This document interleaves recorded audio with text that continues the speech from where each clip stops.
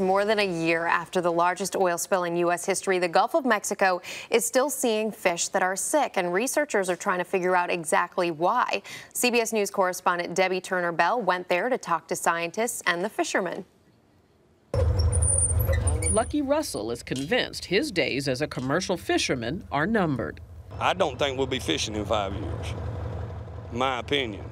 He, like many others that fish the Gulf waters, have started catching fish with sores, fin rots, and infection at a greater frequency than ever before. Every one of them's worried. Everybody's worried. Here's a good example of what these fish look like when they first come out of the water. Dr. Jim Cowan, professor of oceanography at Louisiana State University, has analyzed many of these diseased fish. When one of these things comes on deck, it's, it's sort of horrifying. I mean, they're you know, these large dark lesions and, and uh, uh, eroded fins and, and areas on the body where the, the, scales have been removed. And I imagine I've seen 30 or 40,000 red snapper in my career, and I've never seen anything like this uh, at all, ever. Cowan can't say with certainty the cause of these lesions. We think from um, chronic exposure to some environmental stressor, um, and I think the, the likely assumption that it has something to do with the spill is there.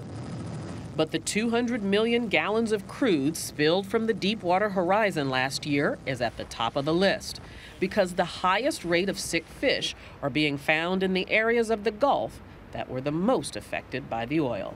This whole issue seems to be centered between Galveston and, and Panama City or Destin. In fact, almost 50% of the red snapper that we caught on some of these reefs had had uh, these secondary infections. These so-called hotspots are of particular interest to University of South Florida researcher Dr. Steve Murawski. So we're conducting a study to see if there are elevated rates of fish diseases. We caught up to him on the choppy waters 11 miles off the coast of Pensacola, Florida. Because of the high waves, we couldn't board his boat. What we're going to do is establish a baseline for fish disease so, you know, even if we don't find any uh, substantial pathology now, we can go back uh, two, three, four years from now and see if, in fact, there was some uh, some slow time bomb that you know, was going on. This is the first comprehensive study ever done on the health of fish in the Gulf. During the six-week study, Murawski will catch and examine more than 4,000 fish. This is going to be very important for this spill. It's also going to be important for the next oil spill, you know, that'll happen in the Gulf because we'll have this baseline.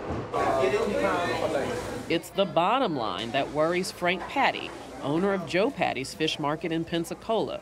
So he prominently displays where his fish were caught. And we still have customers want to know where the product comes from. The majority are not from the Gulf of Mexico. We're in no way um, trying to infer that this is a human health issue. Um, I, I, can assure uh, you that the that none of these fish are reaching the markets. While consumers need not panic, Lucky Russell worries whether there will be enough healthy fish for him to make a living. If our fish are polluted, nobody's ever going to get to go out there and catch fish. You worried that might happen? It very well could. Debbye Turner Bell, CBS News, Pensacola, Florida.